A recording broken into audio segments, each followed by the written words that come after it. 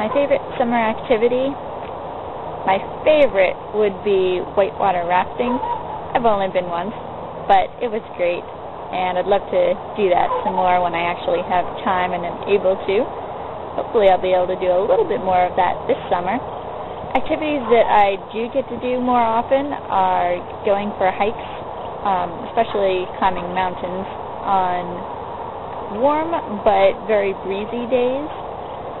Um, my favorite summer food is watermelon, but I don't like the stickiness. I just love the taste and the smell.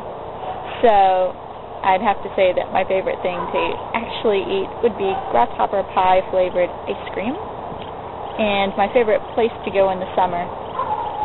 Hmm. My favorite place so far has been Rutland State Park with friends, but not in the summer because that is when school is out and way too many people are there.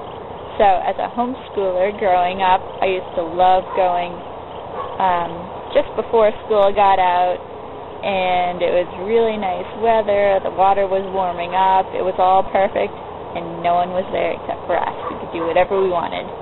And then again in the early fall or late summer, when school starts up again, that's when I like to start going back.